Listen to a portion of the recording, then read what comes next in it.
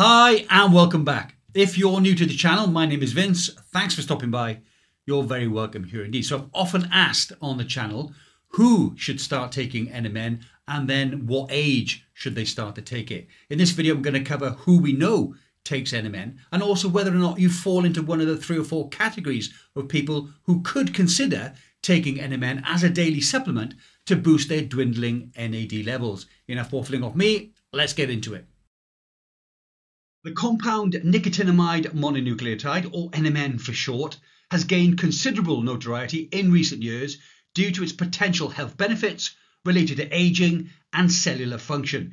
NMN is a precursor to NAD, that's nicotinamide adenine dinucleotide, a molecule that plays crucial roles in various biological processes, including energy production and the essential DNA repair.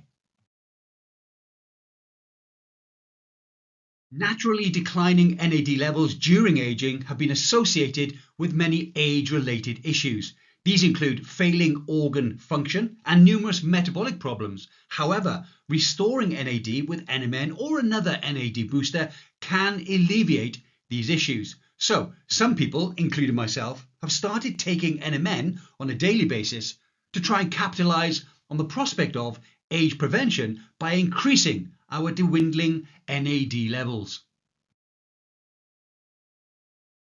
People who could seriously look into taking NMN include those who have a proactive interest in both health and longevity. Although NMN isn't a proven anti-aging remedy in humans, evidence from rodents and some clinical trials suggest it may benefit a wide swath of people who could be interested in taking it. Its efficacy as an anti-aging molecule in humans is almost impossible to test. It would take human generations, that's plural, to conduct any meaningful clinical studies. People who take NMN are typically health enthusiasts aged 35 or older, as this is the age at which NAD levels start to seriously fall, and when most researchers recommend you should look into start taking it as a daily supplement. A graph from Massudi et al. 2012 shows human NAD levels fall as people age. Males showing tapering NAD levels with age, shown by a red line, and this includes after puberty, which is shown by a blue line.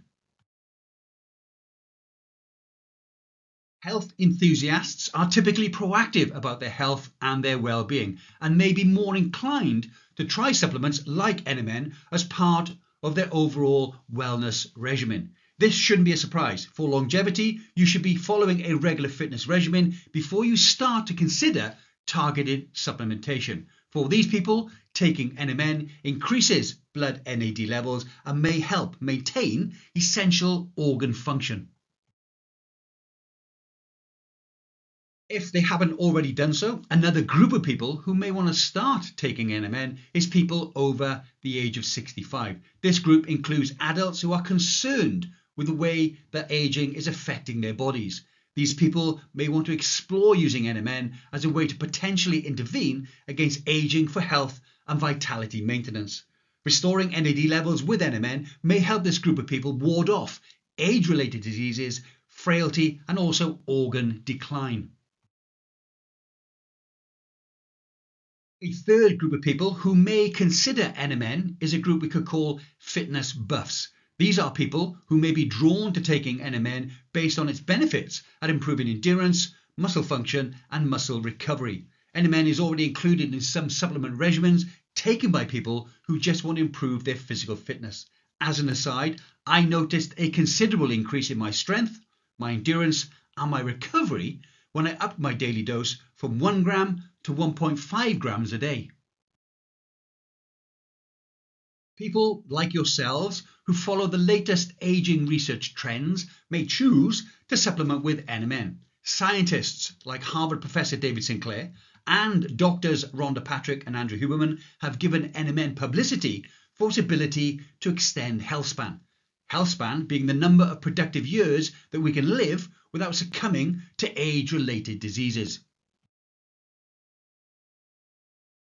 Some healthcare and wellness professionals may choose to recommend NMN to their clients or their patients based on their specific health goals and or their needs. For example, research suggests that NMN supplementation improves insulin sensitivity in overweight adults with prediabetes. So, recommending NMN for aged individuals with specific conditions like being overweight or having prediabetes may improve their metabolic function and their overall health.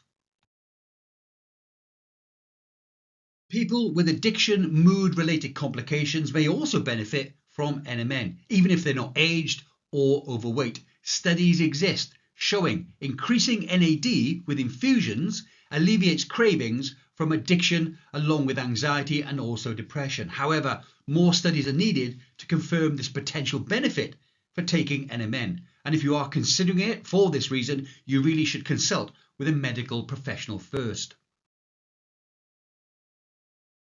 In 2022, on an episode of The Kardashians, Hailey Bieber and Kendall Jenner had an NAD IV drip party where they received intravenous NAD infusions. Their names now join the growing list of celebrities who use ways to increase NAD. That said, whether they take an NAD precursor also, like Andrew Huberman, remains unknown.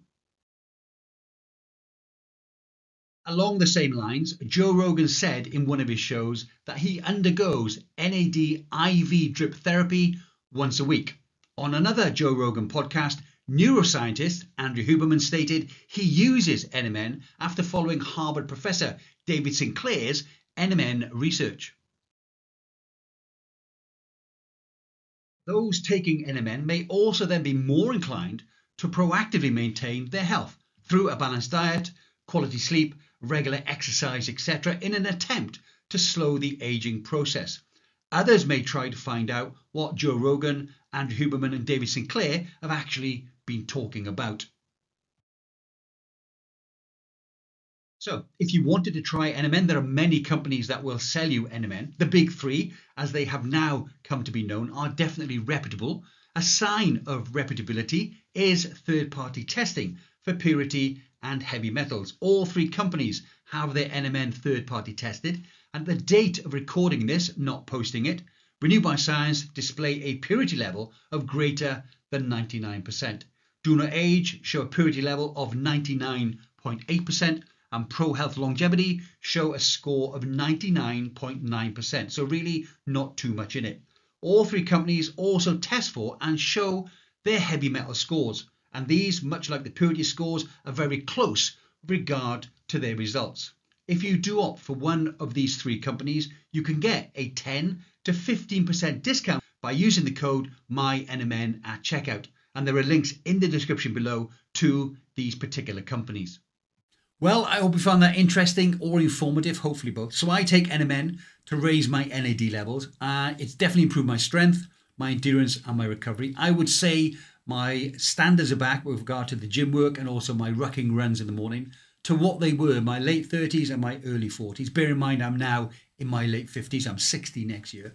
Also, let me know in the comments below if you would. Do you take NMN and also what dose do you take?